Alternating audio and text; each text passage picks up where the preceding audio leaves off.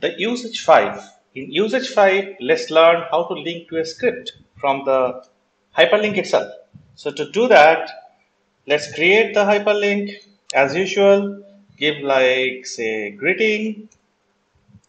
And we will again use the href tag. And in the href tag we will do javascript.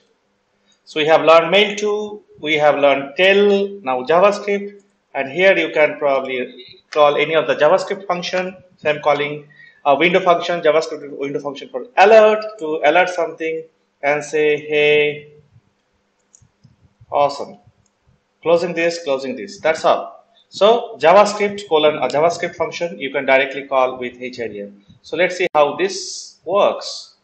Once I click, I see the alert. Hey, awesome.